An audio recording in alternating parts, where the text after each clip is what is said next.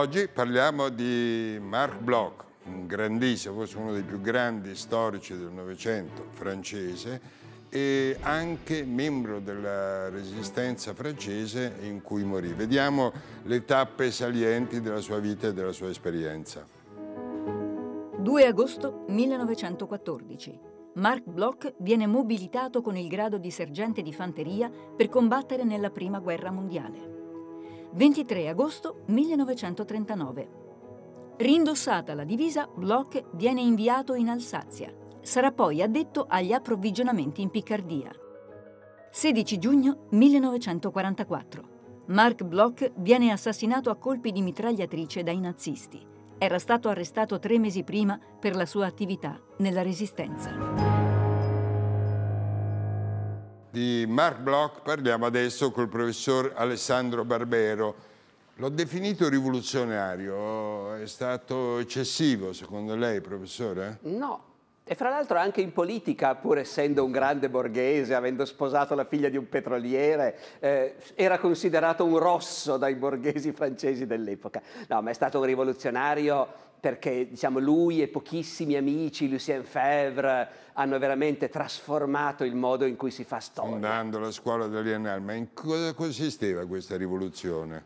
Consisteva nello scoprire che lo storico non si, intanto non si interessa solo a ricostruire i fatti, ma anche a capire cosa prova la gente come, pensa, come pensava la gente del passato, cosa aveva nella testa. E poi anche per quanto riguarda i fatti, lo storico non si interessa soltanto dei grandi avvenimenti che coinvolgono le masse, ma si interessa anche delle piccole cose, per cui capire cosa significava per una contadina del Medioevo eh, affrontare il parto, supponiamo, ecco, è altrettanto interessante, se non di più, di sapere cosa provava Carlo Magno quando andava in guerra contro i Sassoni. Ecco. E sapere della contadina del parto aiutava anche gli storici precedenti a completare il quadro? Ma è che il punto è che gli storici per tanto tempo si sono detti noi dobbiamo raccontare le grandi imprese, i grandi personaggi, no? Ecco. E a un certo punto la cosa si era isterilita, cioè la storia rischiava di diventare una cosa su cui i fatti erano accertati. Eh, e adesso di cos'altro ci occupiamo? È Bloch che scopre che, di, che possiamo occuparci di quando le nonne hanno inventato la marmellata, che prima non c'era e adesso invece è una cosa importante. E allora vediamolo questo, Mark Bloch, storico in trincea, guidati da Matteo Marroni. In una delle sue tante frasi rimaste famose, Mark Bloch paragona il bravo storico all'orco della fiaba, che sa che, là dove fiuta carne umana, troverà la sua preda. Un modo suggestivo di dire che l'oggetto di studio della storia sono gli uomini e il trasformarsi della loro vita nel tempo. Ogni traccia di questa vita, tutto ciò che l'uomo dice o scrive, tutto ciò che costruisce, tutto ciò che sfiora, può e deve fornire informazioni su di lui. È l'esito di quella rivoluzione del pensiero storico che Bloch comincia ai primi del Novecento, quando ancora studia all'École Normale Supérieure di Parigi. Sono anni in cui l'influenza del positivismo ottocentesco è ancora molto forte. Gli storici di questo orientamento si limitano a un rigoroso studio filologico dei documenti, Emile Durkheim sta invece fondando la sociologia come disciplina accademica, con l'ambizione di istituire una scienza dell'evoluzione umana che soppianti del tutto la storia. E questo influenzerà profondamente Bloch nel suo tentativo di fare della storia una disciplina scientifica e di allargarne i confini. Nel 1909 Bloch va a seguire dei corsi di storia economica in Germania. È tornato da tempo e sta svolgendo le sue ricerche sulla servitù nel Medioevo, insegnando storia e geografia al liceo di Amiens, quando nell'estate del 1914 scoppia la prima guerra mondiale. Nell'agosto del 1914 Bloch si arruola volontario e prende servizio con il grado di sergente di fanteria. Partecipa a tutte le grandi battaglie del fronte occidentale, Vive per anni in trincea, gomito a gomito con i contadini e gli operai di Francia e scopre di avere un'inaspettata attitudine alla vita militare. Alla fine del conflitto si è guadagnato il grado di capitano, quattro citazioni all'ordine del giorno della sua divisione, la croce di guerra e l'ammissione alla Legion d'Onore. L'esperienza vissuta tra il 1914 e il 1918 si rivela istruttiva anche dal punto di vista del mestiere di storico. Le condizioni di vita alterate create dalla guerra gli consentono osservazioni sorprendenti sui meccanismi del ricordo, sull'attendibilità delle testimonianze, sulla formazione della mentalità e delle rappresentazioni collettive. Nel suo saggio del 1921, Riflessioni di uno storico sulle false notizie di guerra, a proposito dell'ampia circolazione di storie assolutamente infondate e considerate vere da milioni di soldati al fronte, Bloch scrive L'errore si propaga, si amplifica, vive a una sola condizione. Trovare nella società in cui si diffonde un terreno di coltura favorevole. Solo grandi stati d'animo collettivi hanno il potere di trasformare in leggenda una percezione alterata. Si crede facilmente a ciò che si ha bisogno di credere. Una leggenda che ispirato atti clamorosi e soprattutto azioni crudeli è sul punto di diventare indistruttibile.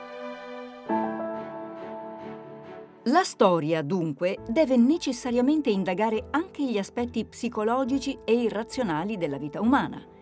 Alla base del suo primo grande capolavoro del 1924, I Re Taumaturghi, studio sul carattere sovrannaturale attribuito alla potenza dei re, particolarmente in Francia e in Inghilterra, c'è proprio quest'interesse per le false credenze, per le rappresentazioni collettive e per il contributo che altre discipline come l'antropologia e la psicologia possono dare alla conoscenza del passato.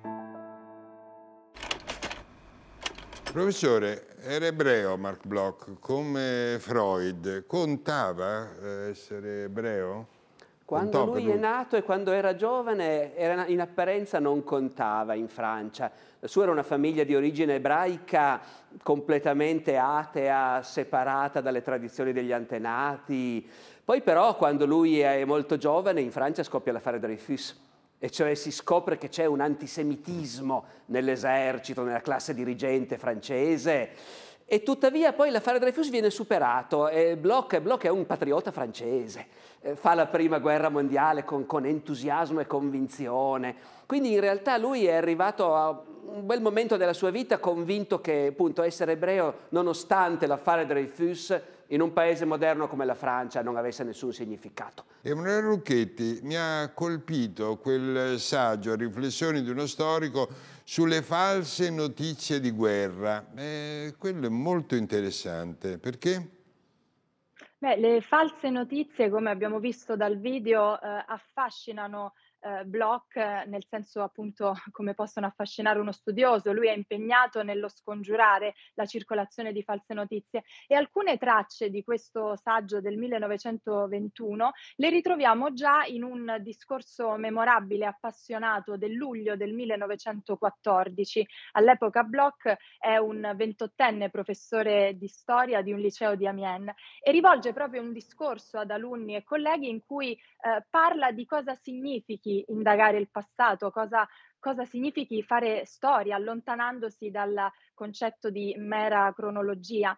Quindi, secondo Bloch, gli storici sono incaricati di eh, condurre una vasta inchiesta sul passato secondo la critica storica, quindi l'arte di discernere vero, falso, verosimile. Quest'arte ha delle regole, prima fra tutte appunto la necessità di citare le fonti e saperle vagliare.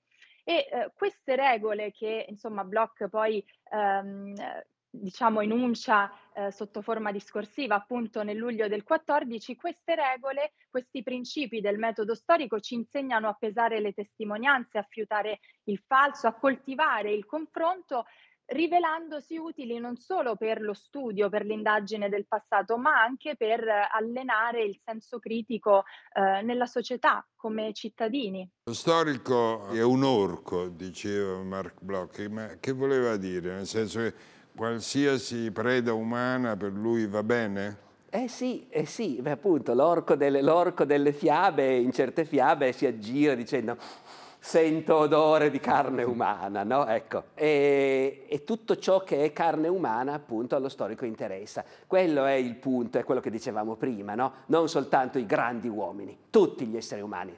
Però è ingeneroso nei confronti degli storici che l'hanno preceduto, perché non è che gli altri storici facessero, riprendo sempre le parole di Emanuele Rocchetti, delle cronologie, storie di battaglie, io penso agli storici della Grecia antica, agli storici della Roma antica, gli stessi storici medievali qualcosa lo davano. Io credo che Bloch sia in polemica, Bloch e gli altri che insieme a lui appunto hanno fatto la rivoluzione delle Annales sono in polemica in realtà appunto no, non con tutta la tradizione della esatto. storia umana, ma con la storia ottocentesca, che però è la prima storia scientifica. Ecco. Noi prima abbiamo degli uomini che sono chiaramente dei geni, Erodoto, eh, Tacito, i quali quindi fanno delle cose fuori da qualunque schema, da qualunque metodo obbligato. Invece nell'Ottocento nasce una storia scientifica che comincia a mettere dei paletti, devi analizzare le fonti, devi dire dove hai trovato quell'informazione. Questa storia scientifica però si inaridisce un po' nell'andare dietro appunto soltanto a fatti importanti e soprattutto ignorando la sfera, diciamo, di ciò che non è un fatto perché non lo puoi afferrare con certezza, quello che passa, ripeto, nella testa delle persone. Ci aiuta anche a capire eh, la storia dei fatti in modo diverso, la storia dei fatti, per esempio, ecco. sul Medioevo. Eh, porta a un capovolgimento del modo di guardare gli stessi fatti? Sì, perché ci aiuta a capire che gli esseri umani, da un lato, sono siamo sempre la stessa bestia, noi esseri umani. Abbiamo certe pulsioni animali che sono sempre quelle in tutte le epoche, però poi al tempo stesso, a seconda delle epoche, da bambini ci ficcano in testa idee diverse, valori diversi, no? E quel che pensavano gli illuministi, no? La gente del passato erano tutti cretini. Perché quei deficienti del Medioevo si mettono in testa di fare le crociate? Che idiozia! Ecco. E questo è sbagliato. Quando incontri uomini che si comportano in modo diverso da te, devi cercare di capire le loro ragioni. Quello è un grande insegnamento anche nei confronti di chi è diverso da noi nel presente, non solo verso quelli che sono vissuti in quel luogo lontano che era il passato. È interessante che parta da dei falsi, i falsi della prima guerra mondiale, perché era ossessionato dei falsi? Beh, lui, sai, la prima guerra mondiale è questa esperienza straordinaria in cui lui, che è un borghese e un intellettuale, si trova per anni in trincea insieme ai soldati, insieme a soldati contadini operai, no? ecco, gente antropologicamente diversa da lui. Tra l'altro c'è una cosa bellissima, divago un attimo, lui dice, racconta un episodio particolarmente sanguinoso e dice io personalmente ho visto che resisto abbastanza bene agli spettacoli cruenti. Gli operai e i contadini, che noi crediamo che siano dei duri, sono molto più sensibili e impressionabili. Dopodiché lui in mezzo agli operai e ai contadini in divisa scopre questa cosa, cioè che idee assurde che si fanno, come si propalano rapidamente delle notizie chiaramente insensate e a quel punto gli scatta di dire ma allora forse anche quelle che noi credevamo fossero le superstizioni del passato. Eh sì, è esattamente questo. Entriamo nel secondo capitolo dove vediamo, da quello che ha appena detto il professor Barbero, come si entra nella nuova storia, sempre guidati da Matteo Marroni. Terminata la guerra, Bloch ottiene il suo primo incarico di lettore di storia medievale all'Università di Strasburgo. La città è appena tornata alla Francia e l'università, in fase di rifondazione, è in pieno fermento. Qui Bloch incontra Lucien Fevre e il sociologo Maurice Alvax. Strasburgo diventa il centro del rinnovamento degli studi storici e della collaborazione tra le scienze sociali. Per iniziativa di Bloch e Fevre, nel 1929 nasce la rivista Annales d'Histoire économique et sociale, è l'origine di quella che può forse considerarsi la più importante scuola storiografica del Novecento. Mentre continua a riflettere sugli infiniti aspetti della vita umana che possono diventare oggetto di studio, nella sua attività di ricerca, Bloch sceglie di partire dai fatti profondi della storia, i più sicuri, quelli di carattere sociale ed economico che non dipendono dalla soggettività delle testimonianze adotta una prospettiva di indagine comparativa, convinto che, proprio nelle differenze con cui uno stesso fenomeno si manifesta nello spazio e nel tempo, sia spesso possibile rintracciare delle spiegazioni. Respinge le barriere disciplinari in favore di un approccio globale ai problemi, integra le fonti documentali con quelle della tradizione orale, dell'arte, dell'archeologia Sviluppa un metodo critico di analisi e interpretazione dei dati che esplicita sempre le lacune, le contraddizioni e l'eventuale carattere congetturale di ipotesi e conclusioni.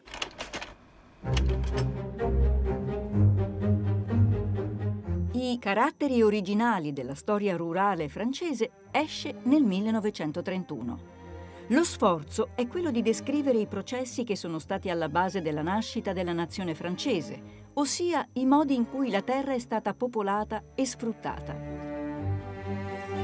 Bloch ha preso tutto il possibile dai metodi degli storici tedeschi ed inglesi e ha studiato le tecniche agricole, la morfologia dei campi e degli abitati, le carte, i documenti giuridici, le etimologie dei luoghi.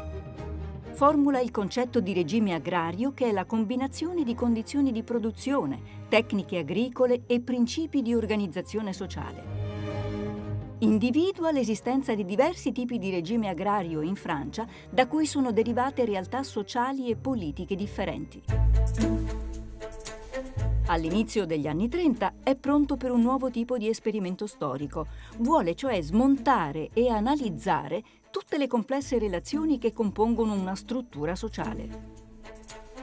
Da questa ricerca nascono le sue lezioni sulla signoria rurale del 1936 e la società feudale pubblicata in due volumi tra il 1939 e il 1940.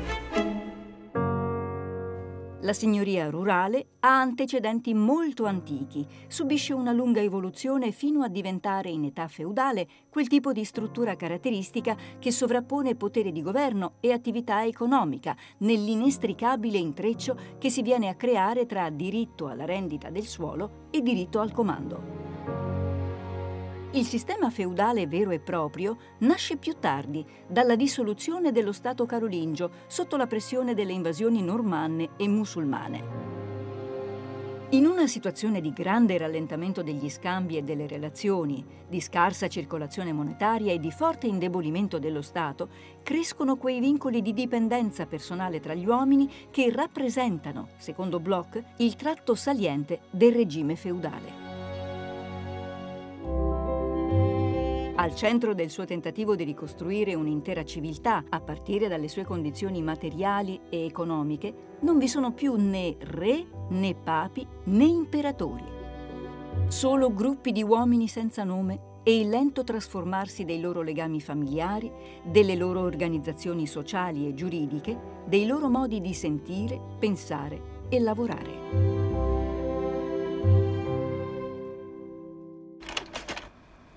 Ma allora, professore, se le cose stanno come ha detto il nostro filmato, e il nostro filmato ha detto bene, quantomeno questo metodo storiografico comporta un arricchimento. E perché allora la scuola delle Annale ha avuto così tanti nemici, sempre, dalla fine degli anni venti anche adesso? Ma all'inizio naturalmente era una cosa un po' scioccante, appunto, è, è proprio la cosa che dicevamo all'inizio, uh, a lei veniva quasi da dire ma in fondo certe cose si sono, si era, eh, no, era, era, proprio molto, molto nuova, no? Poi, poi, c'è la fase del dopoguerra in cui la cultura parigina domina il mondo e, e, allora lì magari si attirano qualche antipatia proprio perché c'è stato un momento in cui sembrava che, come dire, la presunzione degli intellettuali francesi, Bloch non c'era già più. Allora poi. perché, per esempio, la storiografia marxista polemizzò con le Annales? La storiografia marxista, pensi che tempi, gli storici pensavano ancora di poter trovare una chiave garantita per spiegare i comportamenti umani, per capire dove va la storia.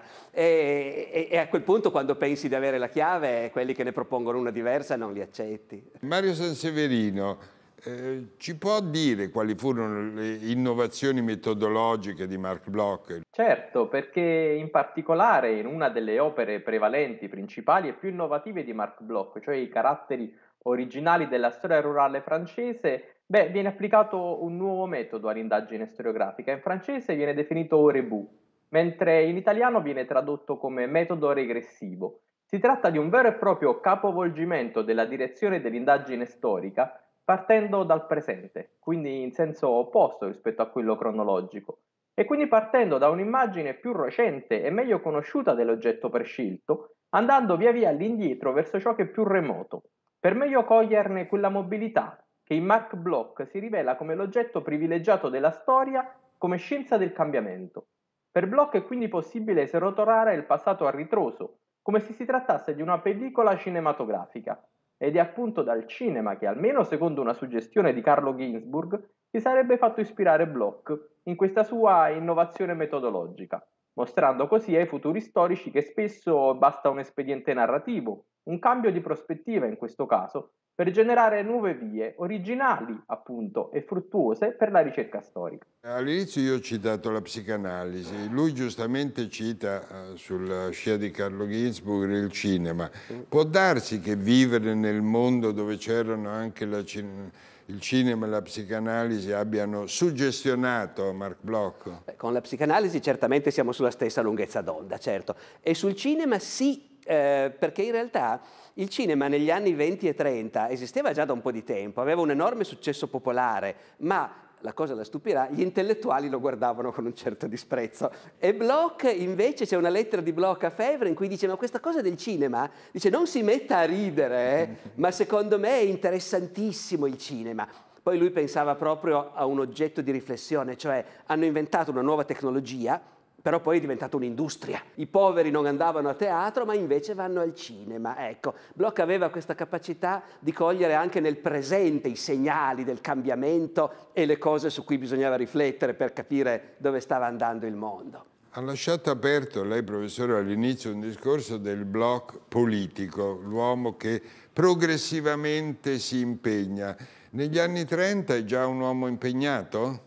Negli anni 30 un uomo impegnato perché in Francia era impossibile restare fuori dalla politica in quel momento. La Francia degli anni 30 è un posto in realtà angoscioso dove c'è la dittatura in Italia, arriva la dittatura in Germania eh, e la Francia si sente un paese invecchiato, indebolito, ha una classe dirigente spaventatissima che alla fine poi comincerà a pensare forse meglio Hitler piuttosto che non i comunisti. Ecco. E al tempo stesso ci sono grandi manifestazioni popolari, c'è il fronte popolare di sinistra che a un certo punto va al governo. E Bloch, che pure dice, uno dei suoi figli dice, mio padre secondo me sì, secondo me era un uomo di sinistra, però era anche un uomo d'ordine. Eh?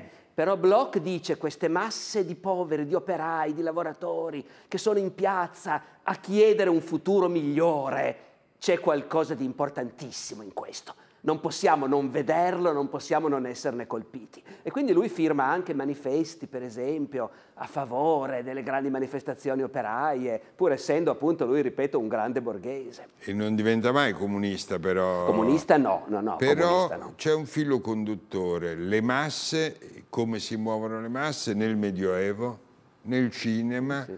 e nella Francia degli anni 30 cioè le moltitudini, le, le masse, più persone magari anonime e trovare il senso uh, di questo loro anonimato, forse è questo il percorso intellettuale di tutta la vita di Mark Bloch.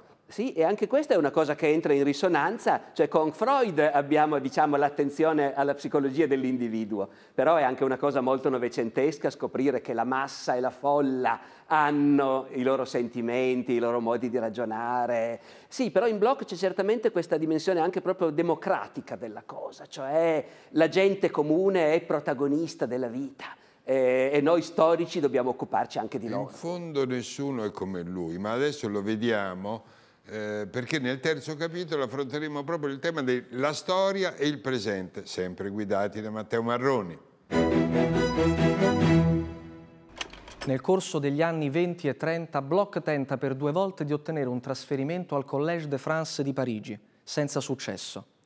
È il segnale delle difficoltà che il semplice fatto di essere ebreo può creare nell'ambiente accademico francese nel 1936 gli viene offerta alla Sorbona la cattedra di storia economica, la sola esistente in Francia. Con l'arrivo della Seconda Guerra Mondiale è richiamato alle armi e nonostante i suoi 53 anni sceglie di non farsi esonerare da quello che ritiene un dovere imprescindibile. Si deve occupare degli approvvigionamenti presso lo Stato Maggiore dell'Armata del Nord in Piccardia dopo la capitolazione del Belgio e la disfatta della Francia, sfugge alla cattura dei tedeschi, abbandona la divisa e va a rifugiarsi nella sua casa di campagna a Fougères. Qui, tra il luglio e il settembre del 1940, scrive La strana disfatta. Pur essendo ebreo, viene riammesso agli insegnamenti per meriti eccezionali prima a Clermont e poi a Montpellier nella Francia di Vichy.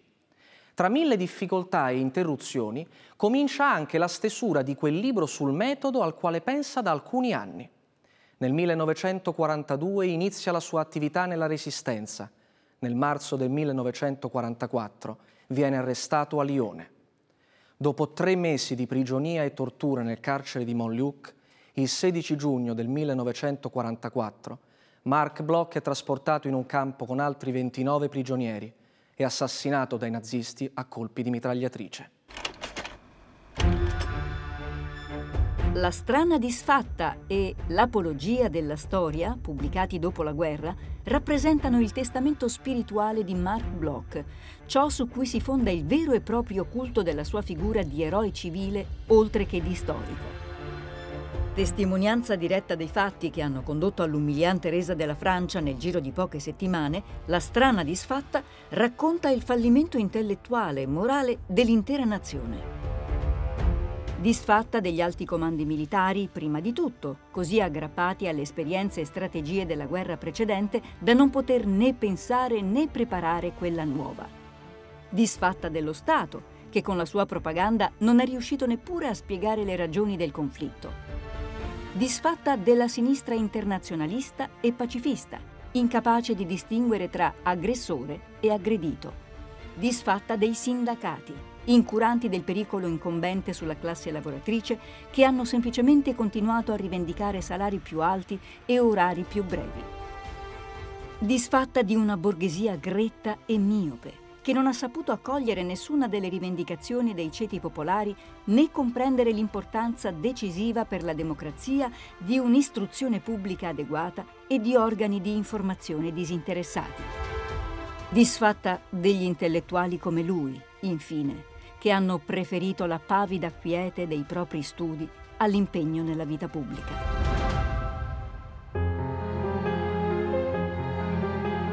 Eppure, alla domanda che gli pone suo figlio, Papà, a cosa serve la storia?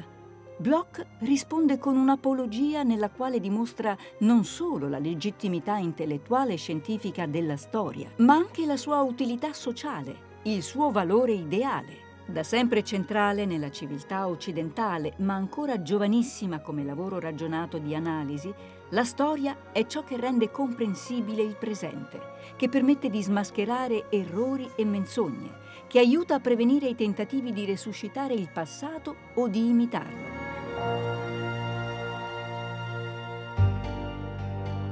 Nella primavera del 1943, però, le riflessioni sulla storia si interrompono. L'apologia della storia resta incompiuta. Il mestiere di storico deve essere sembrato a Bloch del tutto impraticabile in quel momento e in quelle circostanze. L'uomo interessato alla verità, forse, non poteva fare altro che prendere le armi e combattere i nazisti. Una strana disfatta, quello è un libro molto importante nella storia di Mark Bloch perché è diverso ovviamente da tutti quelli eh, che aveva scritto fino a quel momento e perché testimonia quanto sia stata drammatica per lui la caduta della Francia nel maggio del 40 di fronte ai nazisti. Sì, infatti è un libro importantissimo. Lui subito dopo la, la, sconfitta del 40, a un certo punto dice alla moglie, alla fine vinceremo noi e dopo la guerra bisognerà regolare molti conti.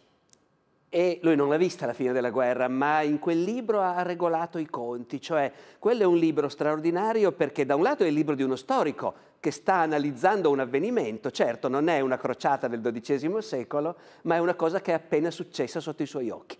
Però è lo storico che lo sta analizzando, però al tempo stesso c'è il furore del cittadino che ha visto il suo paese andare allo sfacelo e che ha la sensazione di sapere di chi sono le colpe. Tutti ne abbiamo, anch'io, eh, dice, anche noi storici, anche noi intellettuali, però altri ne hanno di più gravi. Ecco, e con quel libro lui davvero ha cominciato a regolare i conti come sperava che altri avrebbero poi fatto dopo la fine della guerra. Lui poteva andarsene via dalla Francia in quel momento, gli Stati Uniti, chiunque lo avrebbe accolto a braccia aperte, ma decide di rimanere per la moglie, per il figlio, solo per la famiglia o perché eh, vuole completare con la sua esperienza personale, le chiedo di fare lo psic psicanalista, eh, quello che aveva scritto nella strana disfatta.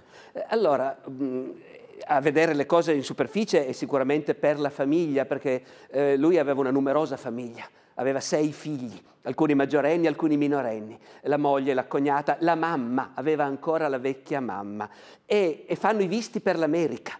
E alcuni li possono ottenere subito, Altri, per esempio, per la vecchia mamma per qualche motivo il visto ritarda e, e, lui gli dicono parti tu intanto con alcuni dei figli e lui dice no, mm, o partiamo tutti eh, e alla fine non parte, no, non parte nessuno. Farà espatriare alcuni dei figli verso la Spagna, ma lui rimane.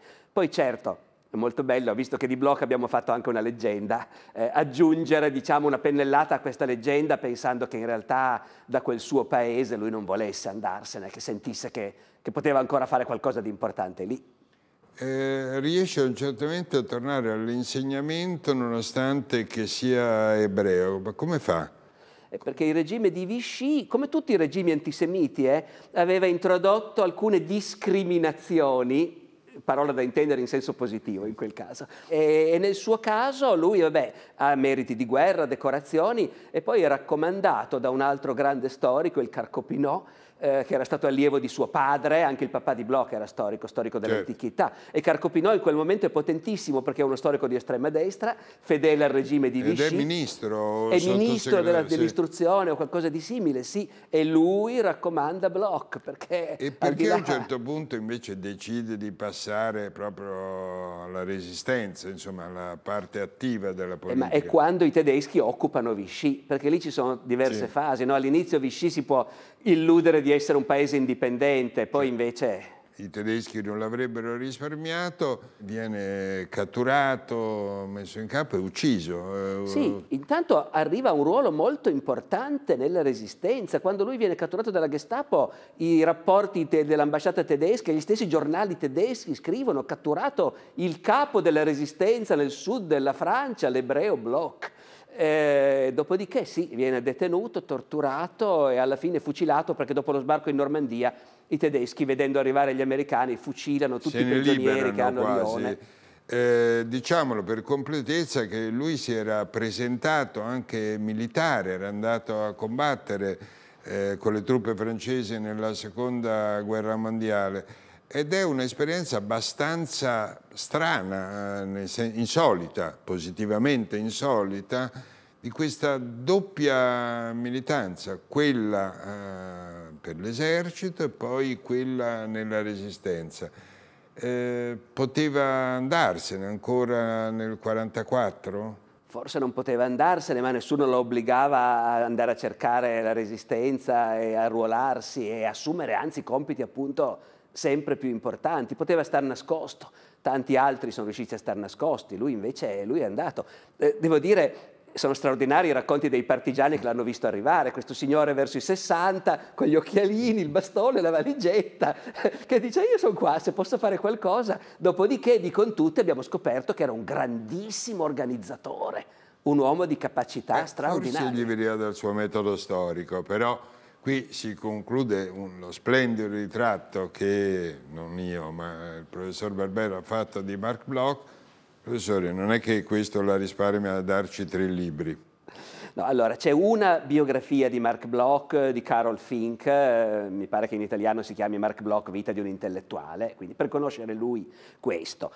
Per conoscere la rivoluzione storiografica delle Annales partirei da Peter Burke, che appunto ha fatto un grande saggio su questa scuola storiografica e poi, e poi però bisogna leggere, li avete già letti tutti, magari no, un libro di Bloch e in particolare La strana disfatta, perché lì c'è tutto lo storico ma c'è anche tutto l'uomo. Sono d'accordo con lei, ringrazio il professor Barbero per i libri di cui vi prego di prendere nota, vi invito a prendere nota, ringrazio i nostri giovani storici e mentre voi scrivete io mi preparo per le conclusioni. La strana disfatta con gli scritti della clandestinità 1942-1944. Mark Bloch. Rest Geste 2014. Mark Bloch, biografia di un intellettuale. Carol Fink, La nuova Italia 1999. Una rivoluzione storiografica. La scuola delle Annales 1929-1989. Peter Burke. La terza 2019. Alessandro Barbero ci ha detto che eh, il merito per cui eh, Marc Bloch poté insegnare durante l'occupazione tedesca in Francia fu eh, di Jérôme Carcopinot. Chi era Jérôme Carcopinot? Era un celeberrimo storico dell'antichità, soprattutto di Roma antica, autore di una famosa biografia uscita negli anni 30 di Giulio Cesare, che eh, fu nominato nella Francia di Vichy segretario di Stato dell'Educazione Nazionale e si era eh, adoperato per la reintegrazione nell'insegnamento di Marc Bloch. Eh, nonostante questo, poi eh, alla fine della guerra è stato processa incarcerato, processato, liberato, ma tenuto sotto osservazione per alcuni anni finché forse proprio per, sua, per quel suo gesto eh, nei confronti di Marc Bloch, eh, come ha ricordato Barbero, lui era stato amico del padre, nel 1951 eh, Carcopino fu reintegrato e nel 55, 1955 addirittura promosso all'Académie Française.